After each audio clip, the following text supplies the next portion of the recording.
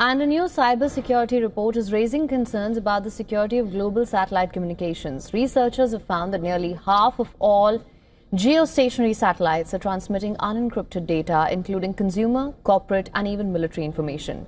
The three year study conducted by researchers from the University of California, San Diego, and the University of Maryland used a simple $800 satellite receiver setup to intercept signals from space. What they found was deeply concerning. The team captured sensitive data, including Americans' phone calls and texts, in flight Wi Fi activity, communication from energy and oil companies, and even unencrypted transmissions from the US and Mexican military.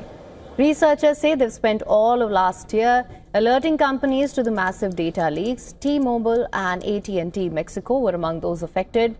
In just 9 hours of the recording, researchers captured more than 2700 phone numbers and partial call content from T-Mobile users simply by pointing a dish at the right satellite.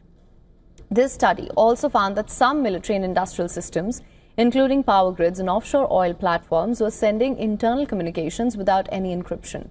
For instance, researchers were able to pull down an unencrypted internet communication from US military sea vessels as well as the vessels' names.